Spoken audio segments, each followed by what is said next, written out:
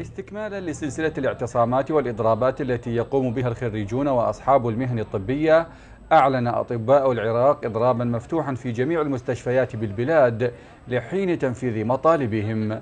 الأطباء المقيمون باشروا إضرابهم وبنسبة تصل إلى 80% من مجموع الأطباء مشيرين إلى أن الإضراب لم يحصل بصورة مفاجئة بل جاء بعد سنوات من المطالبات والتظاهرات دون أي استجابة حكومية لما يعانونه من اغتصاب للحقوق في ظل نظام صحي منهار يهان فيه الطبيب والمريض معا ويسلب حقوقهم وكرامتهم مؤكدين أن الجهات الحكومية هي من تتحمل نتائج هذا التصعيد وعواقبه. ويؤكد الأطباء أنهم يطالبون منذ سنين بقانون حماية الطبيب وغيرها من المطالب التي ترفض وزارة الصحة رفعها إلى الجهات المختصة.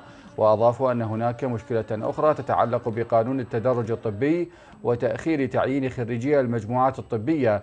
مشيرين إلى أن الأطباء لم يحصلوا على مخصصات الدوام في العطل والجمع والخفارات على الرغم من الجهود الكبيرة التي يبذلونها خلال مواجهة وباء كورونا.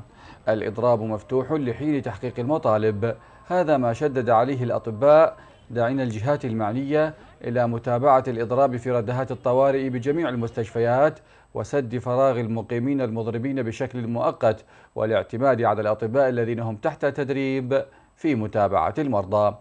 مراجعو المستشفيات اشتكوا أيضا من وجود إرباك كبير مشيرين إلى أن المصابين بفيروس كورونا يختنقون في ردهات المستشفيات وسط إهمال طبي واضح وهو ما زاد من حيرة الأهالي الذين طالبوا وزارة الصحة بضرورة الإسراع بتلبية مطالب الأطباء ودعمهم وحمايتهم مما يتعرضون له من اعتداءات مستمرة. وسن قوانين تنصف الطبيب وتنتشر المريض وتخفف عنه آثار النظام الصحي المتهالك الذي يوشك أن يتداعى تحت غضبة أهم أركانه المتمثل بالطبيب.